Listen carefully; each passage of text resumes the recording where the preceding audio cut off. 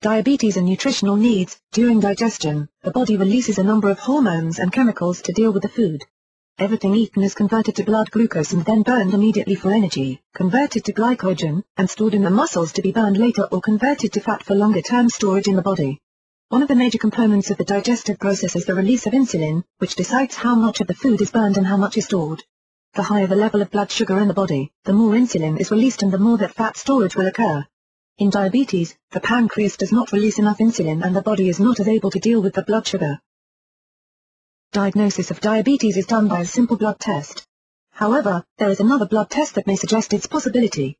The A1C test, recommended by the American Diabetes Association, measures how well blood glucose has been controlled in the previous three months and can define a person who is at high risk of developing diabetes, pre-diabetic, as well as those who are actually diabetic. Testing should be done starting at age 45 for the average adult but should be done sooner for those who are deemed at high risk for developing the disease. The risk factors for diabetes include those who are more than 20% over their ideal weight, those who have hypertension, high cholesterol or a family history of diabetes, being a member of certain ethnic groups including African Americans, Hispanic Americans, Native Americans, and Asian Americans, and women who have had gestational diabetes or have had a baby that weighed more than 9 pounds. Source, Elmer, 2005. Diabetes can lead to several additional diseases and conditions as well as making other conditions more serious and difficult to manage. Diabetes can cause vision problems up to and including blindness and is one of the leading reasons for amputation in the United States. It increases the risk of heart disease and stroke and plays a major role in kidney disease. There are three types of diabetes, type I or juvenile diabetes, usually detected in childhood and affecting about 10% of all diabetics. Source, Elmer, 2005, type 2 diabetes, which was once thought to be a disease only seen in adults but is now being seen in children and young teens. 90% of the people with type 2 diabetes are obese. The third type of diabetes is gestational pregnancy diabetes, which typically disappears after the baby's delivery. However, this is not always the case. It is believed that gestational diabetes is more serious than just another symptom or extension of pregnancy and that is a development of a disease that is already in place. Because diabetes is so prevalent and has the potential for so many serious consequences, it is important that the warning signs be heeded and testing completed. An estimated 14 million Americans have diabetes and it is the third leading cause of death in this country. Source, McLean 1993. The warning signs of diabetes, increased thirst, frequent urination, especially at night, constant hunger, blurred vision, unusual fatigue, sores that do not heal, unexplained weight loss, menstrual irregularity and chronic yeast infections. Dietary guidelines Because most people who already have or are at an increased risk of developing diabetes are obese, it is important that a balanced diet be adopted to help them reduce body fat. In many cases, diabetes can be controlled through diet alone, however, many will need medications and many others will eventually need to have insulin injections. Some may have insulin pumps inserted in their abdomen instead of doing injections. Even a small reduction in weight can change the amount of medication that is needed for the average person. Because diabetes is often linked to heart disease, the American Heart Association Heart Healthy Diet or DASH, dietary approaches to stop hypertension, is often suggested.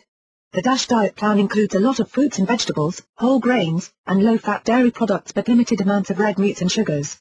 Sodium is limited with this diet as well. Every diet should include the three macronutrients, protein, carbohydrates, and fat.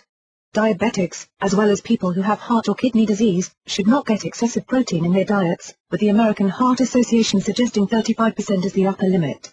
The diet should be 50% carbohydrates, 30% protein, and 20% fats, however, for better weight loss the numbers for protein and fat should be changed slightly, making it 35% protein and only 15% fat. Source, the American Journal of Clinical Nutrition. This slightly increased protein amount is still within a safe range set by the AHA but allows for high satiety scores. It does not affect the hunger hormones ghrelin or leptin at this level. Protein is vital to every part of the body and plays a role in every cell and function. In a reduced-calorie diet, it might be necessary to supplement protein and other nutrients for optimal functioning, but diabetics must be careful to choose the right supplement for them. The doctor that is helping to manage your disease will have suggestions, however, there are two that might be worth investigating as well, whey protein and a liquid protein supplement called Profect.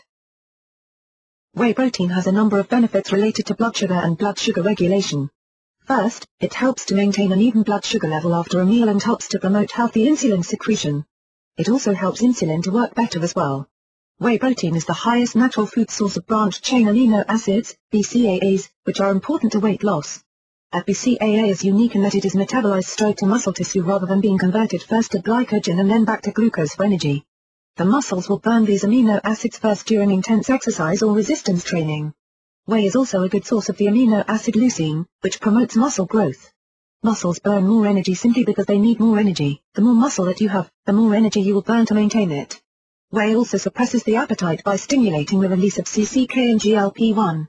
Whey is not appropriate for those who are lactose intolerant. Profect also stabilizes blood sugar after a meal, making it a perfect between-meal snack. It can also be consumed before a meal so that the blood glucose level remains stable and there is less fat storage. It is only 100 calories and has zero carbohydrates and zero fat but a full 25 grams of highly digestible protein per serving. Each serving is less than 3 fluid ounces in size and can be consumed in seconds. Profect supplies all of the day's vitamin C as well as half of the day's B-complex vitamins. Flavors of Profect include blue raspberry, grapefruit mango, fresh citrus berry, and cool melon splash.